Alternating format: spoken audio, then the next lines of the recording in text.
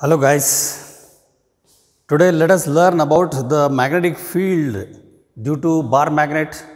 Have a comparison of this magnetic field of a bar magnet with that of a solenoid and the one of electric dipole. Here you will get electric field due to an electric dipole.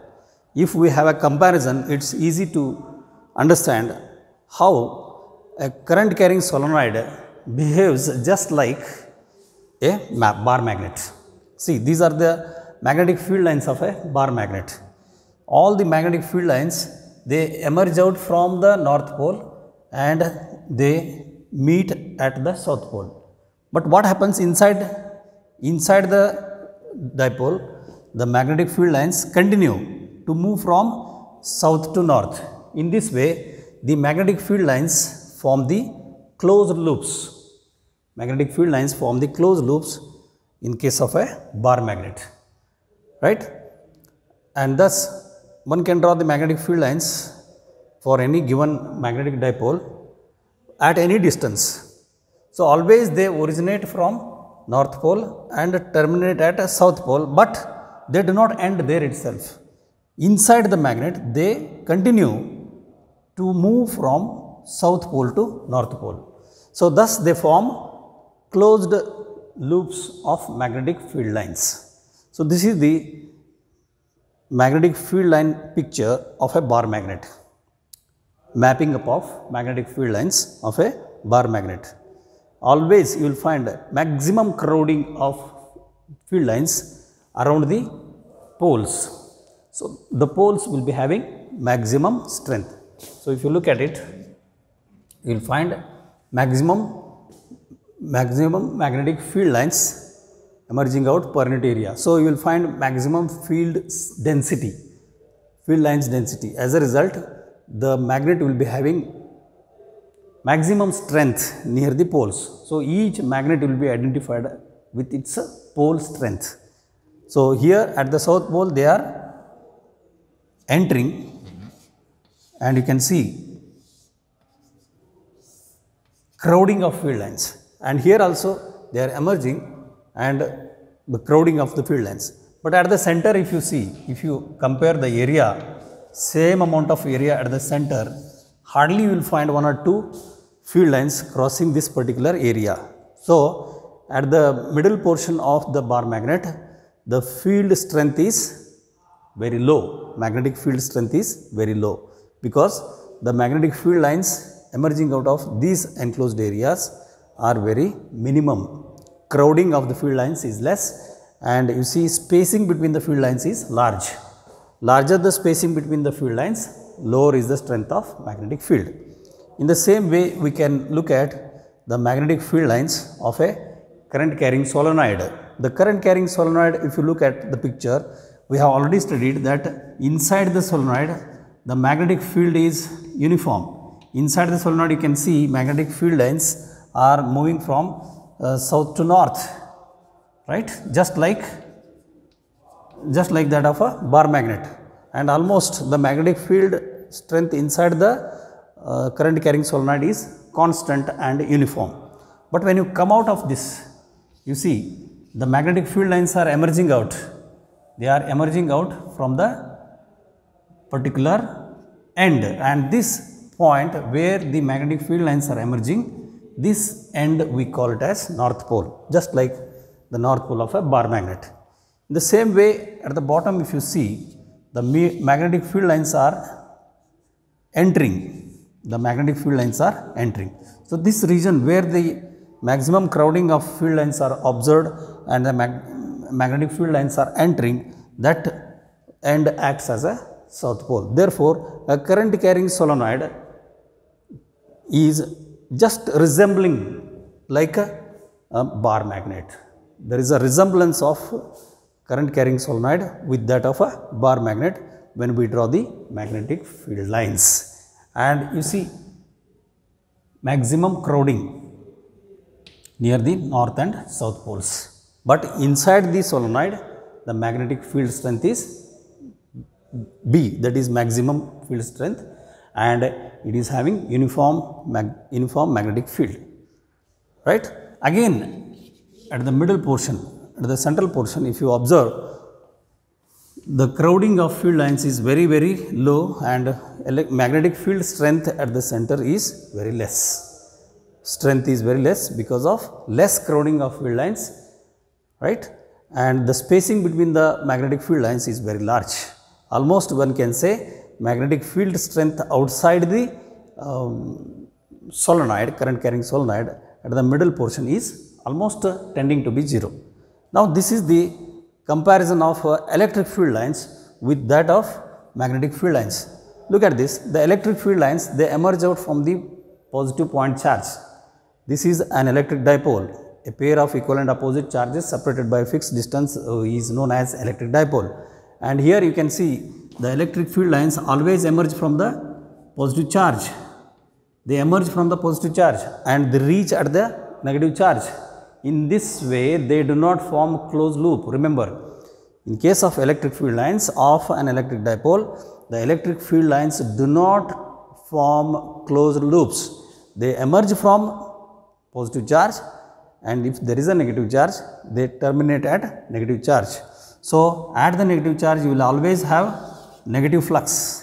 At the positive charge, you will always have positive flux. Again, at these um, poles we can say here charges at the areas around the charges you will find maximum crowding of the electric field lines maximum flux is being observed.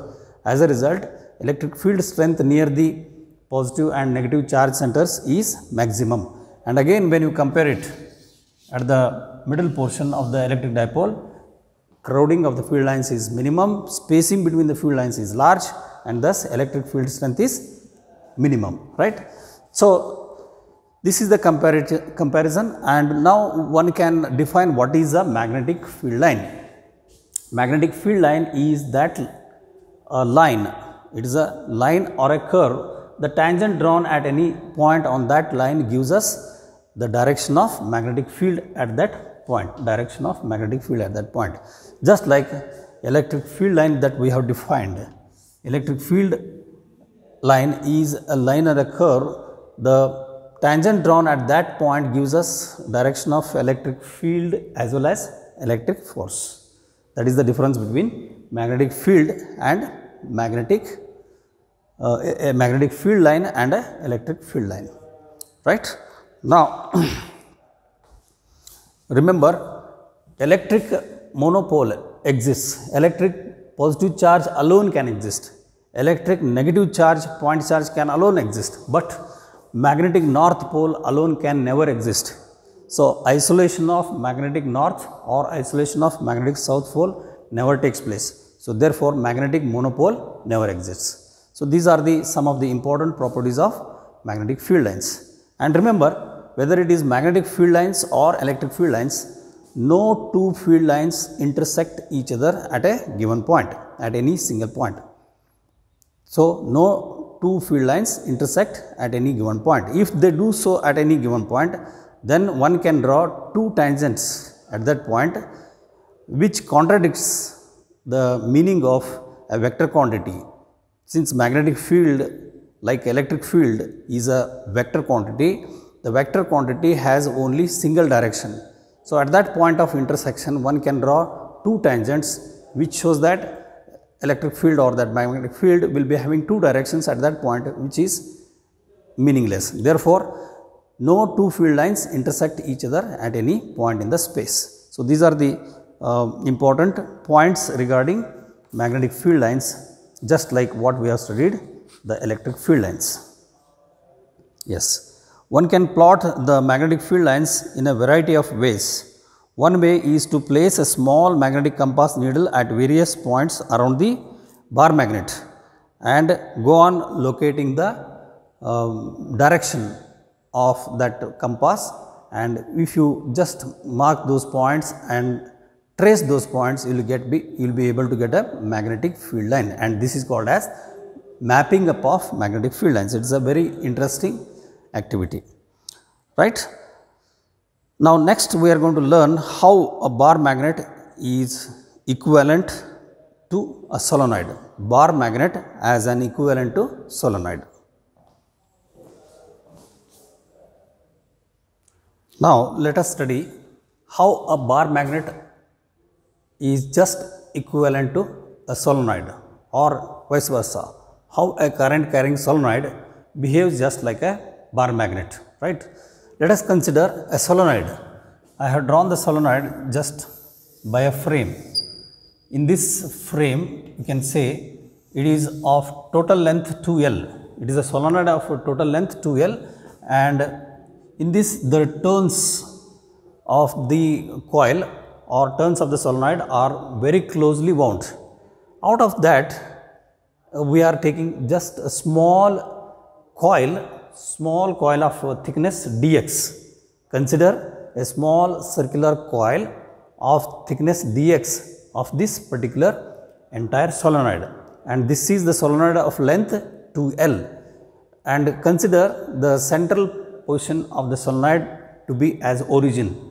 And then the distance from the the distance left of the solenoid is taken minus negative and this will be of minus L and the length towards the right of the solenoid is plus L. So, that the total length is L plus L 2L. Since uh, the distance towards the uh, left side are taken negative therefore, it is taken minus L means half length of this solenoid is L, full length is 2L. So, when the current starts flowing through this solenoid, the one which we have considered a circular loop, a circular loop of a, small thickness dx, it behaves like a magnet as we have studied and we have calculated the dis, uh, magnetic field due to circular current loop at a particular distance along its axis. Now, this is the axis of the solenoid. This is the axis of the solenoid, right? Let P be the point at distance r from the center of the solenoid. Let P be the point at distance r from the center of the solenoid where we would like to find out magnetic field due to solenoid. And the distance of this point P from the center of this circular loop will be r minus x means we have taken the center of this circular loop, center of this circular loop to be at a distance of x from this origin. Let x be the distance of this circular loop from its center, right. Then the point P will be at a distance of r minus x. So, point P will be at a distance of r minus x from the circular loop, from the circular loop. Now, we can write the magnetic field due to current loop, magnetic field due to a circular loop if you remember, magnetic field due to circular loop having n number of turns along its axis at a distance see uh, at a distance r from here whose uh, radius is a. Suppose it is carrying current i in its turns. Then we have found out the magnetic field due to this current loop. If you recall magnetic field b is equal to mu naught uh, n i a square mu naught n i a square divided by 2 times uh, r square plus a square. It, this we have to consider this distance from the um, current element. So, that is r square plus a square whole raised to 3 by 2 and it will be acting along the axis since we had taken it as a x axis. So, we took i cap otherwise you have to take along the axis as unit vector r. Using this right hand we have found out the magnetic field to be acting along the axis when the current is in current is in um, anti-clockwise sense where n is the number of turns of the coil. Using this equation I am writing what is the magnetic field due to this small circular current loop in the same way dB equal to mu naught times n dx into i a square n dx n dx is nothing but total number of turns where n dx gives you turns number of turns. Number of turns in the circular coil. Circular coil of length dx.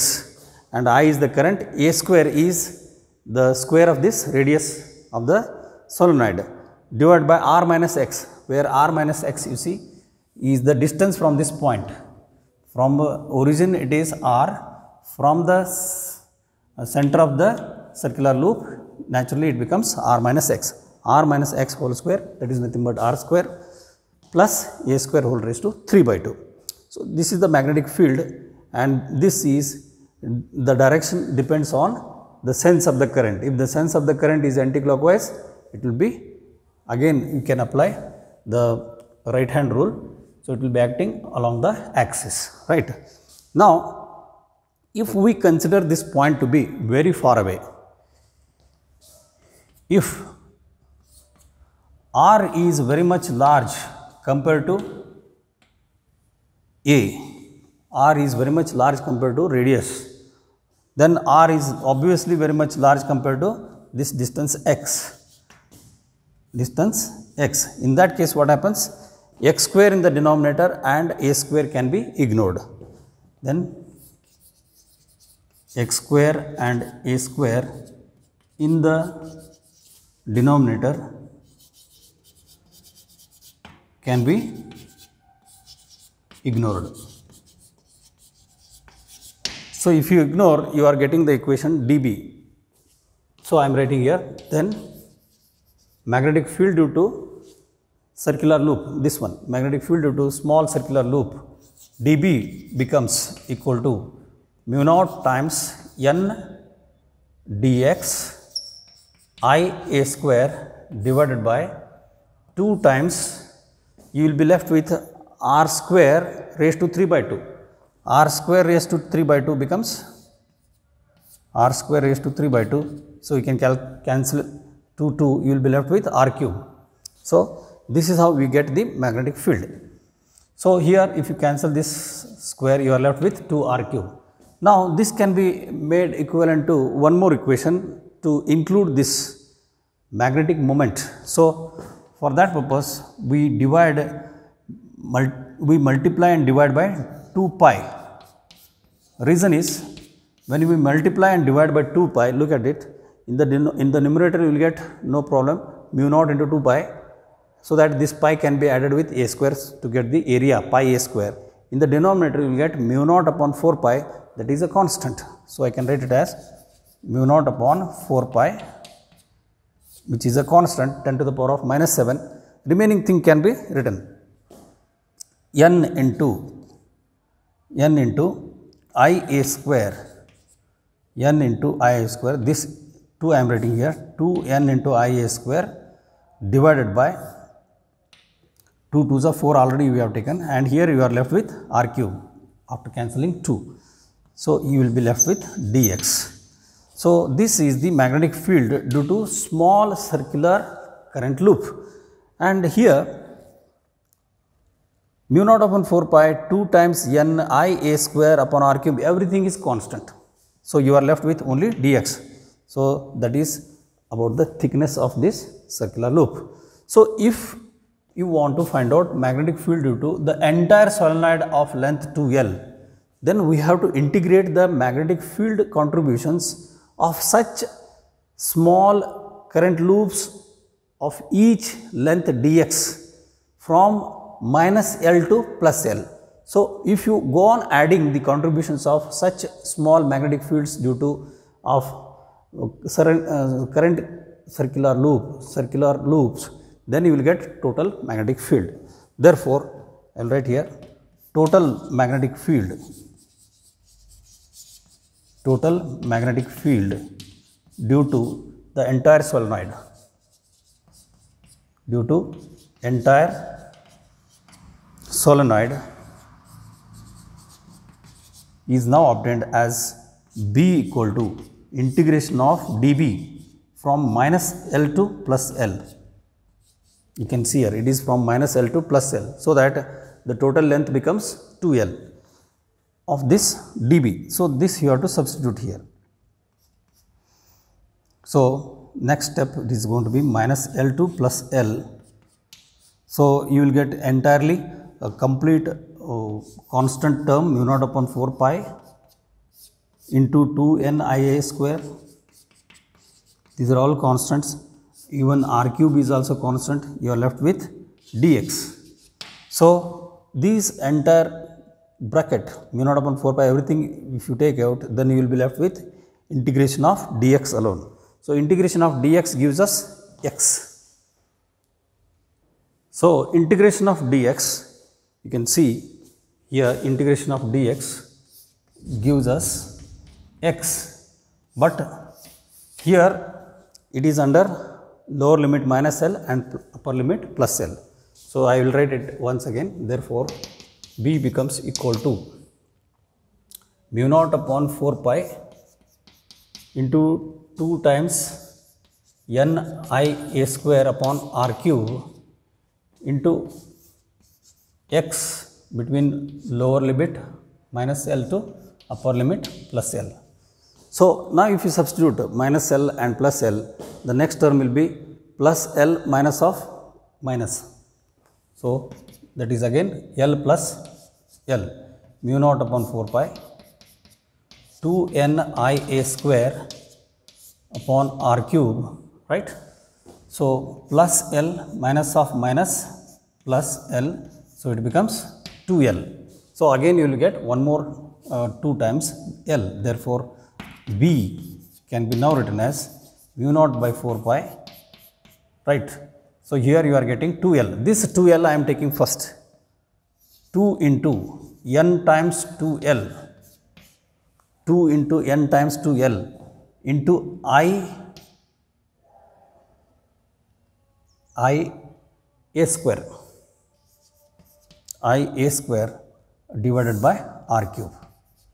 So, this gives us an idea that n into 2L you can just see n into 2L gives you the total number of turns total number of turns in the entire solenoid of length 2L 2 times n into current I into square of the radius.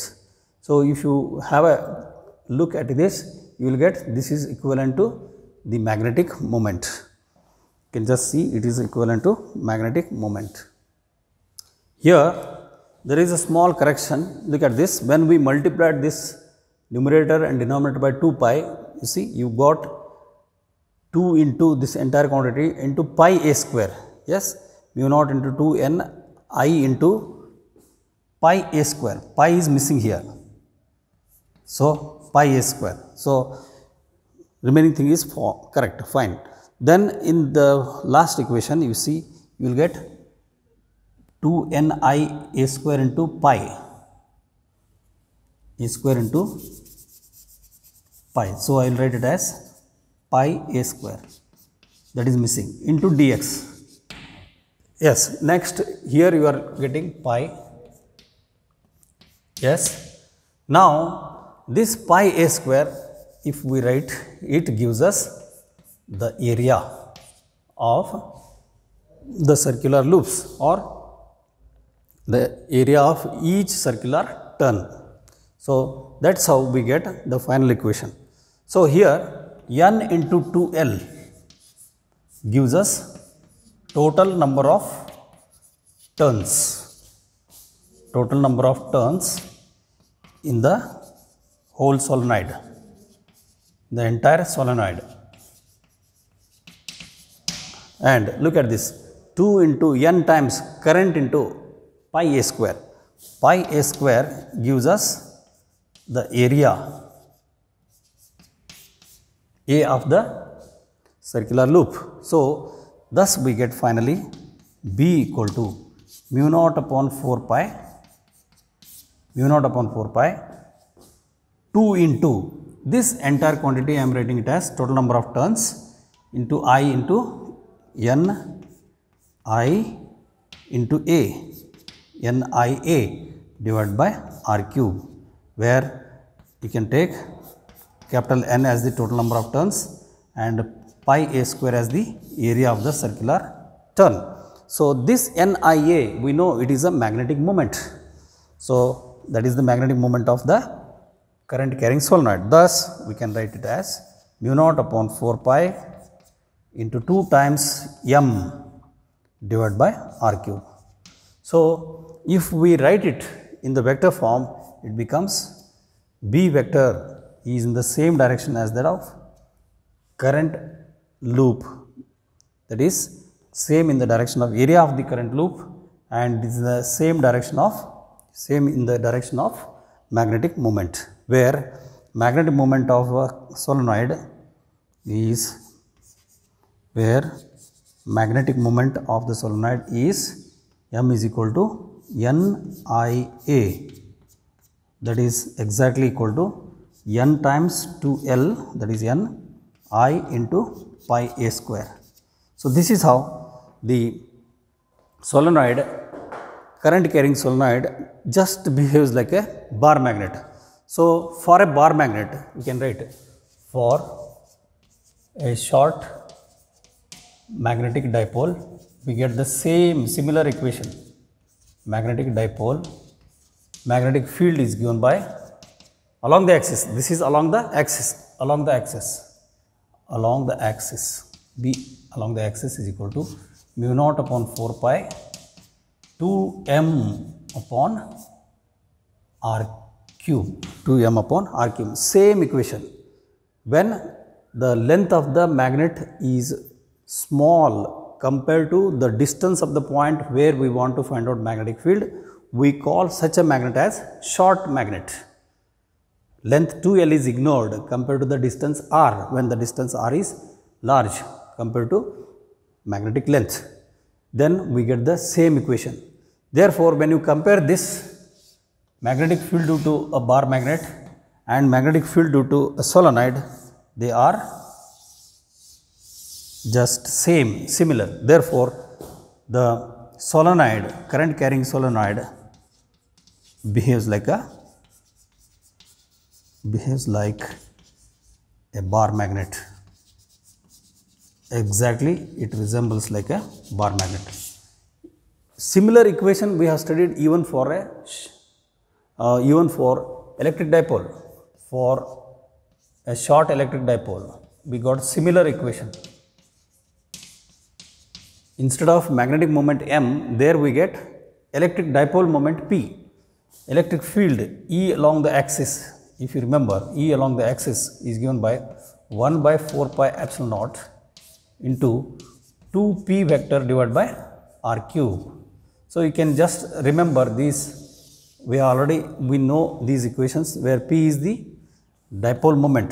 P is equal to uh, q into 2a where q is the charge positive charge either mm, uh, positive or negative but we have to take magnitude of charge into 2a where 2a is the length of the dipole. In the same way we can say for even magnetic dipole magnetic dipole m equal to qm into 2l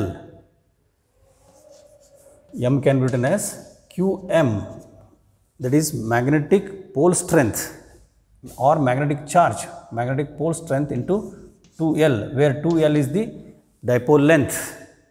Dipole length is always taken as 2l since magnetic monopole never exists therefore this kind of definition is not being considered nowadays.